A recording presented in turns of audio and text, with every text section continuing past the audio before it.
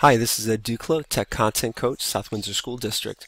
There's some exciting news. We uh, have joined the Google Classroom Gradebook beta program and what that means is it's something that Google is looking into and uh, trying it out with some schools and getting their feedback first and then um, making some adjustments and then rolling it out to the country.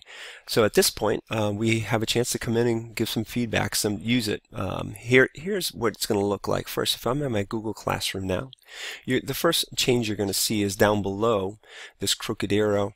You're going to be able to click on that and it'll take you right to the gradebook. Right now I'm going to do a little different. I'm going to go into one of my classes and you're going to notice up top that you now have four tabs. If I click on the grades, it takes me right to my grade book. Um, at this point, I can see each and every student all the way through.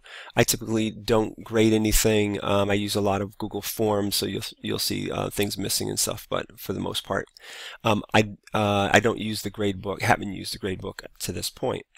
All right, now if you take a look at this and you say, okay, I want to set up the gradebook, but I before I even go into this, I want to make one qualifier right up front. Google Classroom Gradebook does not speak to um, PowerTeacher Pro. Okay, and our grades are still ending up in PowerTeacher Pro, so that's a decision that you're going to need to make how extensively you, you want to use this. If you go to the settings and you come down on the uh, from the settings, you'll see a new section here. So in the gradebook, you can go ahead and set uh, by total points, or you can do percentage base category weighting.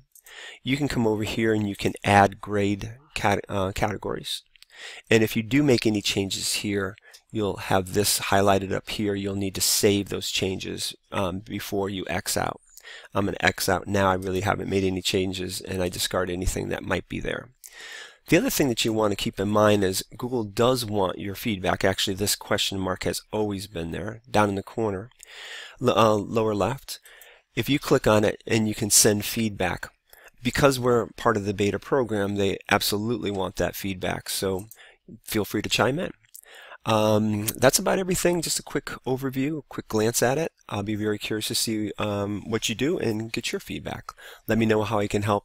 Have yourself a great day.